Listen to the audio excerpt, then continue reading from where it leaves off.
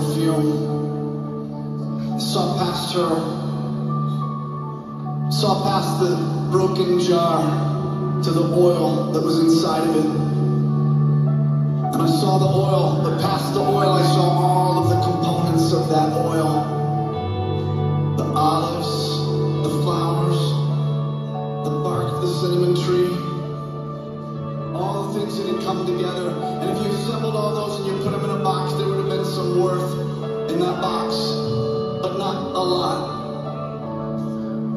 But when all those ingredients were crushed and pressed, squeezed and heated,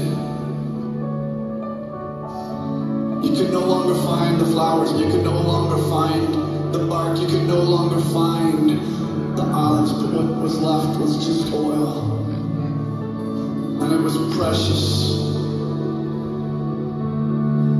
People judged her for her offering, judged her for that oil, but it moved Jesus.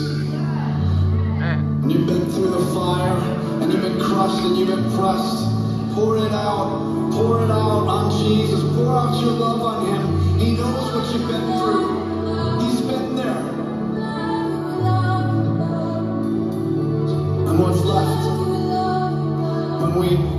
Pour it out to Him This is the fragrant oil.